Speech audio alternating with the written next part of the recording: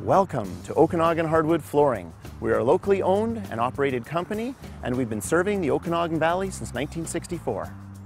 Our newly renovated showroom has been expanded from 900 to 2,500 square feet. We've also added a 5,500 square foot warehouse. We've got easy access and plenty of parking.